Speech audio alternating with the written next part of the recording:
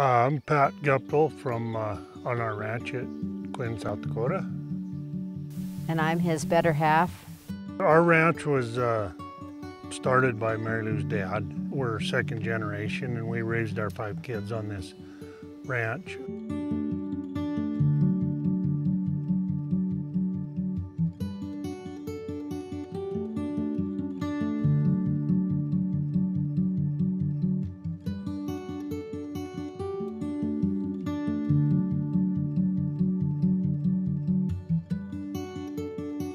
We're a cow-calf operation, custom graze yearlings and grass finished cattle if we ever find a market for it.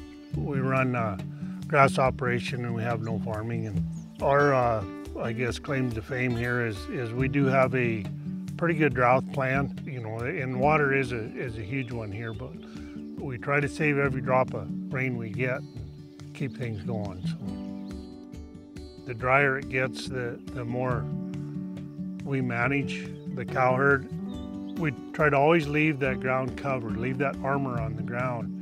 We don't need to take all that grass off. We, we leave some to catch snow and feed the microbes. If you can cover your ground in a drought and leave it covered, soon as it rains, within 30 to 45 days, it's ready to go again. But if you bare the ground, it may be three to five years before you can do it. The last two years, we, our cows have grazed all winter, and that really helps the bottom line. Pat and I, we don't argue too much, so I guess we're getting along and our satisfaction must be pretty good. I mean, I enjoy it. So in, in uh, a span of six years, we more than doubled the organic matter in. And all that is is storage for water. It is a higher stress factor, and, and, and yeah, you can hear it when you go to town don't know what I'm gonna do with my cows and, and that stuff. And I can remember being in the same boat. Yeah, the stress levels are terrible high.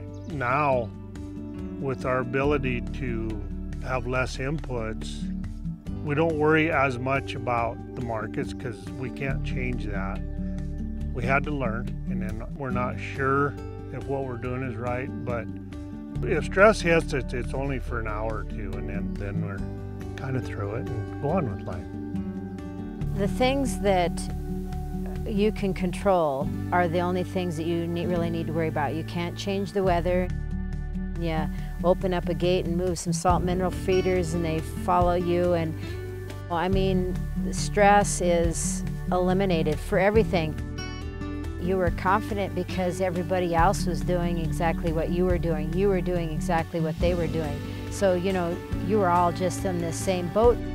Now it's a completely different side of it where you're confident because of what the ground is doing and what the microbes are doing. Instead of looking out and seeing what everybody else was doing, you're looking here. This is what we're doing. This is how we see the improvements. I that's and that's where your confidence is. With me, the more I learn, the more confident I get.